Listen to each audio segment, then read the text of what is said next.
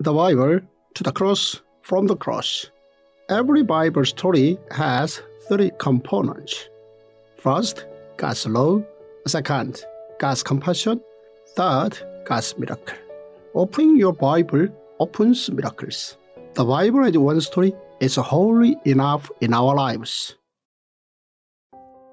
Day 325 Galatians 4 to 6 Bear the fruit of the Holy Spirit.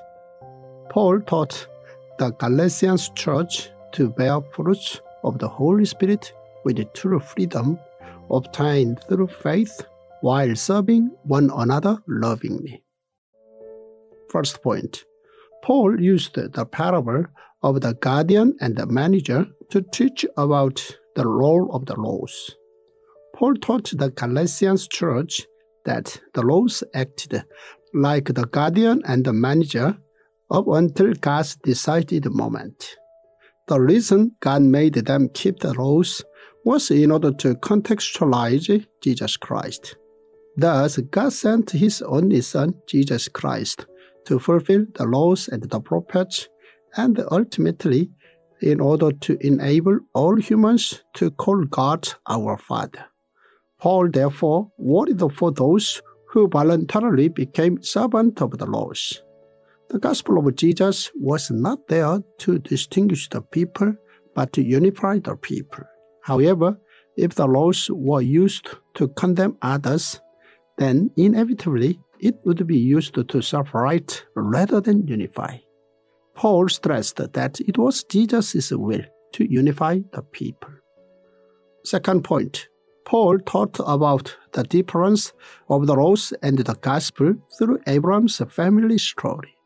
Paul compared the laws and the gospel in order to teach the members of the Galatians church. In order to do so, Paul firstly referred to the laws in the story of Ishmael, who was born from Hagar. Secondly, he referred to the story of the laws involved with Isaac, who was born from Sarah.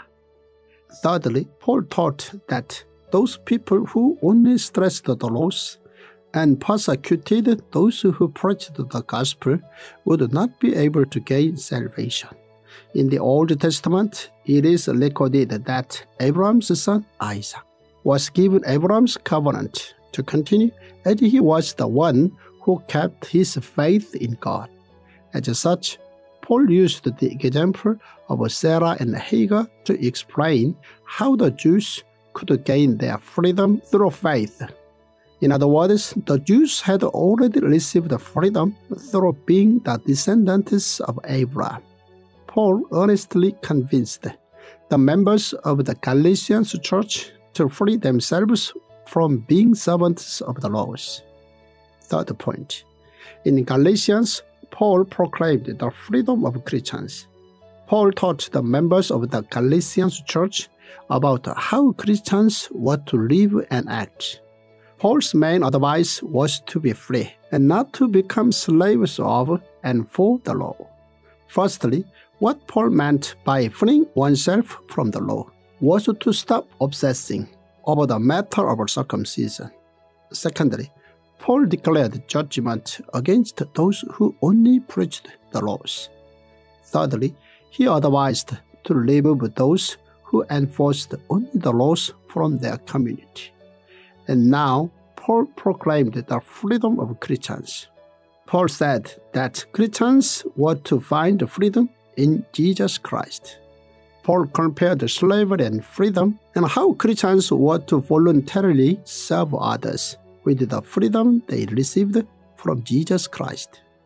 Fourth point, Paul taught that there are nine fruits in the Holy Spirit. Paul taught the members of the Galatians church to follow the Holy Spirit and eat from its fruit. Those who only followed the laws would end up living according to their physical needs. Paul warned that such people would not be able to enjoy the kingdom of God. Paul then referred to the nine fruits of the Holy Spirit that was in the gospel.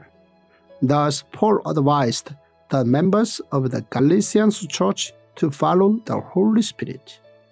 Fifth point Paul taught the church members not to be downcast when the fruit of a good deed did not appear right away. Paul taught the Galatians church to carry each other's burdens. He also taught them to carry out their tasks as best as they could and to be responsible. Paul furthermore told them to help those who were traveling to preach Jesus' gospel. In other words, Paul told them not to be downcast when they could not see the results of their work immediately. Paul taught them to not be seduced by the laws. Paul knew the ways of the law keepers extremely well, that they did not practice by heart, but only on the surface. Paul thus proclaimed that he only boasted of Jesus' cross. Paul emphasized that it was not by circumcision that humans became renewed, but only through the faith in Jesus Christ. Because of this, Paul explained that he carried the mark of Jesus on him. Only through the gospel can humans gain eternal life. Paul told the members of the Galatians church that believing in this was God's grace.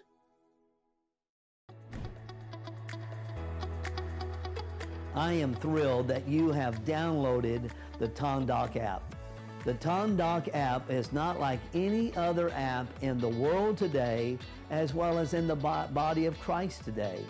Dr. Byoungho Zoh has devoted his entire life to teaching men and women like yourself to understand the entirety of the Word of God as a masterful and beautiful story from Genesis to Revelation. Dr. Zoh is a sought after speaker worldwide. He's a cutting edge pastor and leader. He is a renowned theologian and a prolific writer. And you're going to be equipped and energized like never before to understand and apply the Word of God into your life. Again, thank you for downloading the Tongdok app.